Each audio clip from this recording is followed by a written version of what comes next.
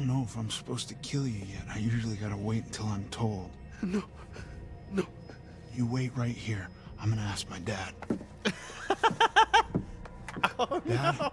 Dad, are you there? Bobby, Travis, where's Dad? where are you? I, I, I got a live one here, T. I got the boy. You been bit, Bobby? Nah, I don't think so. He's bleeding though. I think he's dying. Okay, what's your position? Um, standing. No. Where are you, Bobby? Oh, I'm in the old wing in that little room, you remember? Yeah. Keep him there. I'm coming. Oh, trust me, he's not going anywhere. He's gone!